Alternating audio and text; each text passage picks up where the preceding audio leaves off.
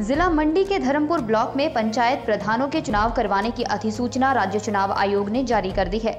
यहाँ बता दें कि रोस्टर को लेकर धर्मपुर ब्लॉक की पंचायतों में प्रधान पद के चुनाव नहीं हो पाए थे, क्योंकि मामला हाई कोर्ट में विचाराधीन था। लेकिन अब राज्य चुनाव आयोग ने अधिसूचना जारी करते हुए एक ही चरण में मतदान कराने के आदेश दिए हैं। एसडीएम धर्मपुर सुनील वर्मा ने बताया विकासखंड धर्मपुर की चौवन पंचायतों में प्रधान पद के चुनाव 7 अप्रैल को कराए जाएँगे। उन्होंने बताया कि प्रधान पद का रोस्टर जो पहले जारी हुआ था वही लागू किया जाएगा। उन्होंने बताया कि 22, 23 और 24 मार्च को नामांकन पत्र दाखिल किए जाएँगे जबकि 25 मार्च को नामांकन पत्रों की छंटनी होगी। 27 मार्च को नाम वापसी के बाद चुनाव चिन्ह बांट दिए जाएँगे और 7 अप्रैल को सुबह 8 बजे से शाम 4 बजे तक मतदान करवाया जाएगा। एसडीएम ने बताया कि इसके नतीजे भी उसी दिन घोषित कर दिए जाएँगे। आयोग ने घोषित किए। इसका कितना फ़र्क पड़ेगा? जैसे जो आपको इम्प्लॉयज लगाना पड़ेगी उसके बारे में क्या है? हाँ थोड़ा सा ये जब आज हमने शेड्यूल देखा क्योंकि पहले हम ऐसा करते थे कि जब तीन चरण में चुनाव होता था तो मान लीजिए हमारे दो सौ अठानवे बूथ है टू नाइन्टी एट बूथ। उसमें एक चरण में सौ सौ बूथ पे जब हम चुकाते तो सौ टीमें हमें बनानी पड़ती थी। चार लोग होते थे, चार सौ एम्प्लॉयज़ में चल जाता था। तो अब इस बार कुछ क्योंकि एक ही दिन करवाने हैं टू नाइनटी एट बूथ पे करवाने हैं तो कुछ स्ट्रेटजीज जो है अपनानी पड़ेंगी, कुछ बूथ हमें कम करने पड़ेंगे। क्योंकि पहले ऐसा होता था कि एक वोटर को पाँच पाँच बैलेट पेपर्स देते थे, प्रधान उप प्रधान वार्ड मेंबर्स जिला परिषद, पंचायत समिति तो समय लगता था। तो इसलिए बूथ हमने ज़्यादा बनाए होते थे। तो एक वहाँ पे हम थोड़ा सा करेंगे कि बूथ कम कर दें। पर फिर भी मैं कहीं ना कहीं देख रहा हूँ कि एक दिन की वजह से हमें थोड़ी समस्या आएगी। तो देखेंगे अभी ऐसा है कि हमारे स्कूल्स कॉलेजेस भी रूटीन में चल रहे हैं। बाकी ऑफ़िस वाले बिज़ी हैं। तो अगर स्टाफ यहाँ पे पूरा नहीं हुआ तो हम उपायुक्त महोदय से ये आग्रह करेंगे कि वो दूसरे ब्लॉक से कुछ हमें इंतज़ाम करके दें। ऐसा हम उनसे निवेदन करेंगे। पर देखते हैं अभी ये तो वर्कआउट करना पड़ेगा भी कि कितने हमारे बूथ्स हम कम से कम कर सकते हैं कितना स्टाफ तो जैसा आपने कहा एक चरण की वजह से खैर सहूलियत होगी फटाफट हो जाएगा तीन जगह लोगों को नहीं जाना पड़ेगा। पर जो एक दिन में हमें स्टाफ ज़्यादा चाहिए होगा हम उम्मीद करते हैं कि उसे हम जिला प्रशासन के सहयोग से कर लेंगे अच्छे से। धन्यवाद। ये थे हमारे स्टेट का वो कराता है भारतीय निर्वाचन आयोग। तो इनकी वोटर लिस्ट अलग होती है। तो बहुत सारी ऐसी शिकायतें उस टाइम आई कि हमारा नाम नहीं है वोटिंग के दिन फ़ोन आए बहुत जगह जो हंगामे भी हुए।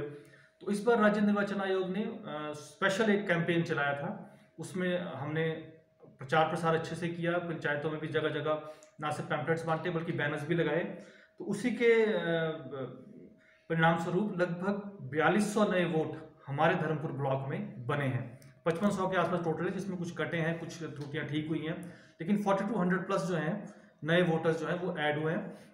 लेकिन जैसा आपने कहा, अभी भी इसमें समय सीमा है। नामांकन से सात दिन पहले तक भी वोट बन सकते हैं, लेकिन अब बनेंगे जिला पंचायत अधिकारी, डीपीओ ऑफ़िस मंडी में। तो नामांकन 22 से शुरू है तो उससे सात दिन पहले आप खुद लगा लें कि अभी भी दो तीन दिन लोगों के पास हैं कि वो जाके, अगर कोई छूट गया है तो वोट अपना बनवा सकता है। एक सर और है इसमें। जैसे कोई चुनाव हार गया है, पीछे जो हमारे उप प्रधान मेंबर, जिला परिषद पंचायत समिति के चुनाव हुए। उसमें कोई व्यक्ति हार गया है। क्या वो चुनाव लड़ने का अधिकार रखता है, लड़ सकता है चुनाव? जी, मैं स्पष्ट कर दूँ। बड़ा सिंपल सा है कि आरक्षण रोस्टर जो हमारा, जो जारी हुआ है उपायुक्त महोदय द्वारा, पहली एलिजिबिलिटी वो, मान लीजिए कोई सीट अगर एससी लेडी के लिए किसी प्रधान की आरक्षित है तो वो एससी लेडी होनी चाहिए और उस पंचायत की वोटर होनी चाहिए, बड़ा क्लियर उस पंचायत की वोटर अगर ऐसा है तो वो कंसर्न सीट के लिए खड़ी हो सकती है। इसी तरह बाकी जगह भी है। बेशक आप हारे हुए हों, बेशक आप जीते हुए हों किसी और पोस्ट पर भी। अगर आप उस आरक्षण रोस्टर की क्वालिफिकेशन पूरी करते हैं, और वोटर हैं उस अपना उस पंचायत के तो आप वहाँ पे चुनाव लड़ सकते हैं। आयु सीमा का है कि 21 साल से ऊपर, ये ध्यान रखें। वोटर तो 18 साल से ऊपर भी हो सकता है। 21 साल के ऊपर चाहिए 21 साल से मिनिमम एज होती है। 21 साल से ऊपर अगर है तो कोई बात नहीं है, आप चुनाव लड़ सकते हैं। नमस्कार। जैसा आपने अभी बताया कि आज ही राज्य निर्वाचन आयोग ने धर्मपुर में जो हमारे प्रधान पद के चुनाव पहले नहीं हुए थे तो उस चुनाव हेतु आज अधिसूचना जारी कर दी है। इसमें 22 तेईस, चौबीस। बाईस से जो है हमारा प्रोग्राम शुरू हो जाएगा। बाईस, तेईस, चौबीस इन तीन दिन जो है नॉमिनेशन होंगे प्रधान पद की पोस्ट के लिए 11 से तीन बजे के बीच।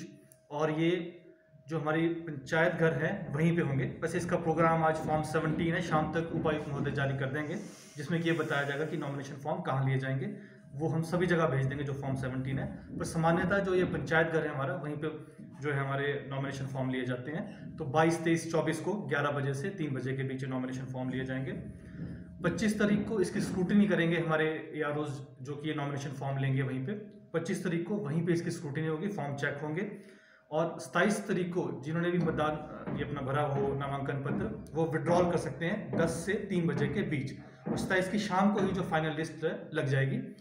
जैसा आपने बताया कि इस बार एक ही चरण में सात अप्रैल को आठ बजे से लेकर चार बजे तक के मध्य ये चुनाव होगा। और उसी दिन शाम को वहीं पे पंचायत घर में ही इसकी काउंटिंग करके रिज़ल्ट निकाल दिया जाएगा। एक एस टी साहब इसमें और है। जैसे नए वोटर कब तक अपना वोट बना सकते हैं?